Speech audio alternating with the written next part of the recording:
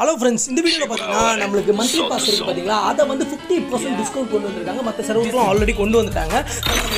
மட்டும் லாஸ்ட் வாட்டி வந்து கொடுக்கல. சிங்கப்பூர் சர்வர் அந்த சர்வர் இந்த சர்வர் எல்லா சர்வருக்கும் விட்டானுங்க. ஆனால் நம்ம இந்தியன் சர்வருக்கு மட்டும் கொண்டு வரல. ஏன்னு பார்த்தா இப்போ நம்மளுக்கு தீபாவளி ஈவெண்ட் வருதுல அதனால ஒன் மந்த் தள்ளி போட்டானுங்க. என்ன ப்ரோ சொல்கிற ஆமாம் மகளே.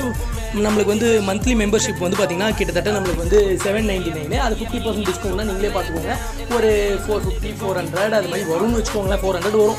அதுதான் மக்களே நம்மளுக்கு. இதுதான் வீடியோவில் சொல்ல வரேன். யாரெல்லாம் மந்த்லி பாஸ் போடுவீங்க அப்படின்னு சொல்லி கமெண்ட் பாக்ஸில் கமெண்ட் பண்ணுங்கள் அதுக்குள்ளே யாரும் மந்த்லி பாஸ் இப்போதைக்கு போட்டுறாதீங்க.